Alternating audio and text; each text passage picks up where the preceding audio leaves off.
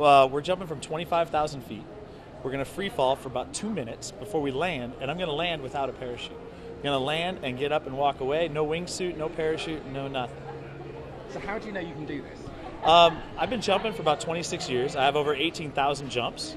Um, I've worked on a lot of big projects where I've got to help with some engineering.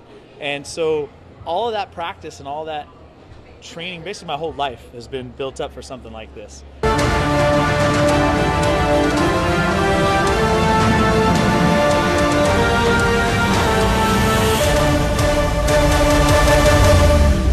So that's a big drama. Everyone wants to know what we're going to land in. What I'm here to tell you is that we're going to land in something. I need to land on my back.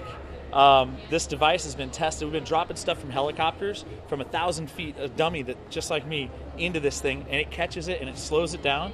And it's the G forces are right around four and a half to five Gs. That's all for about one one and a half seconds. You slow down over, and I slow down in roughly 150 feet.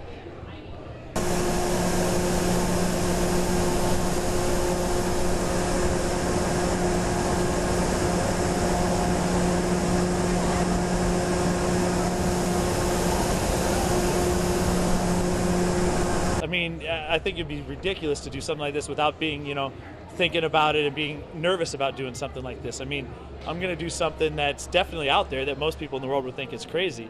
Um, but what I like about it is that if you, when you see all the science and all the math and all the engineering that goes in behind this thing, from a physics standpoint, I mean, we stop cars, race cars stop all the time.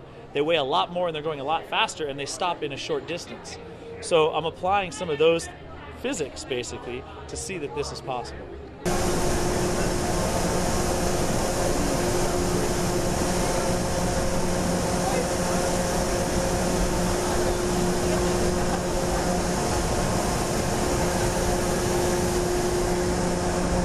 The absolute biggest variable in all this stuff is wind.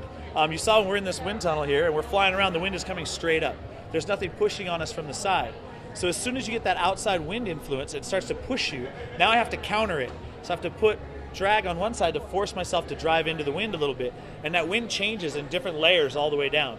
So just a little bit of wind, if it's blowing, you know, 10 miles an hour, that's going to want to slide me at roughly 5 miles an hour away from the, where I'm trying to be. So I have to fight that and drive into the wind. So the wind is definitely my biggest uh, adversary on this jump. Does a autocorrect sometimes it'll get the wrong No, word. no, no, I'm, I'm, I'm on it with you, so but I want to get that too, so we can get this right. Perfect. Got it. So then we'll see you on Friday. This project represents something for all of us about risk, about taking chances, about living fully.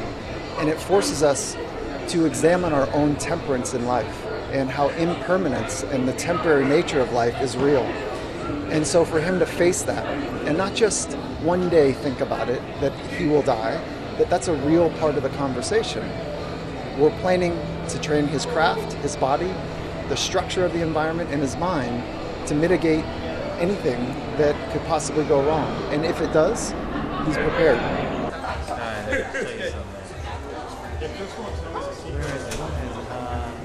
How was it? Know it now.